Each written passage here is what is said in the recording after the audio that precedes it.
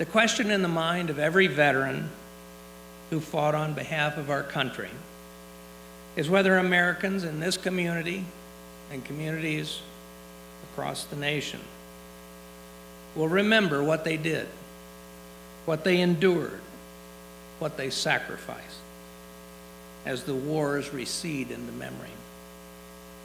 When the welcome home celebrations end and the parades are over, will people return to their daily lives and over time forget those who served and their families as well?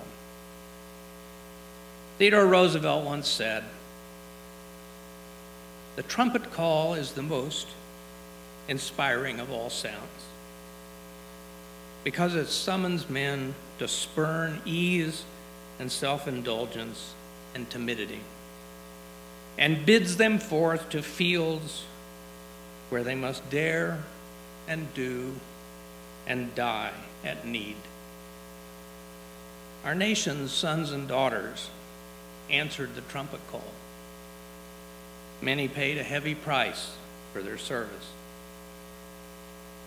Can the trumpet call now summon other Americans to remember their sacrifice in the years to come and help those who served live lives enriched by welcoming communities, good jobs, and transformational experiences like that offered by Higher Ground?